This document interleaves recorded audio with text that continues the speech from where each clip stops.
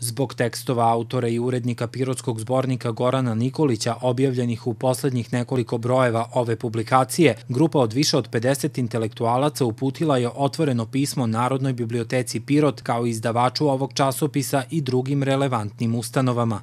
Poslednji tekstovi koji se javili u Pirotskom zborniku, urednika zbornika, o učešću omladine Pirota u obnovi izgradne zemlje posle drugog svjetskog rata, o prilikama u Piroti okolini za vreme drugog svjetskog rata, o Bugarskoj gimnaziji u Pirotu i o učešću pirotskih boraca u zločinu u Baru, pokazali su da je sve to interpretirano na jedan haotičan, nenaučan način. Neko si ima minđušku koja mu se klati, pa da se ne vidi kako se klati, a oni prstom upiru u drugoga.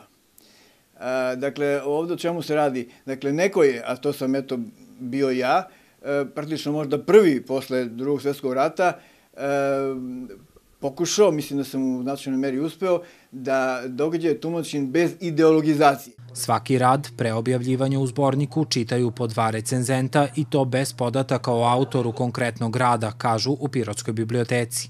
Imamo situaciju a, takvu da među potpisnicima se nalaze dva bivša urednika i imamo a, dva ili tri, nisam baš siguran, a, recenzenta, naših radova koji su objavljeni.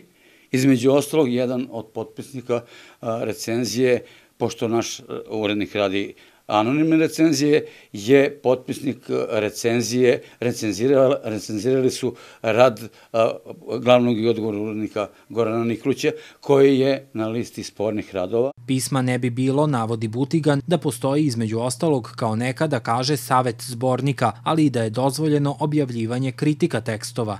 Bilo je ukazivanje na nezakonit rad redakcije i e, urednika i da je u stvari saslušano ono na što su ukazivali pojedini ljudi do ovog nismo ne bi ni došli. Oni mogu da svoje, svoje razmišljenja sroče u naučni rad, sa naučnom aparaturom, sa naučnom metodologijom i da taj rad prođe proceduru kao i svaki drugi rad. S tim da će za ovaj broj da bude kasno, jer mi obustavljamo prijem radova za svaki broj nekoliko meseci ranije, kao i svi drugi ozbiljni naučni časopisi.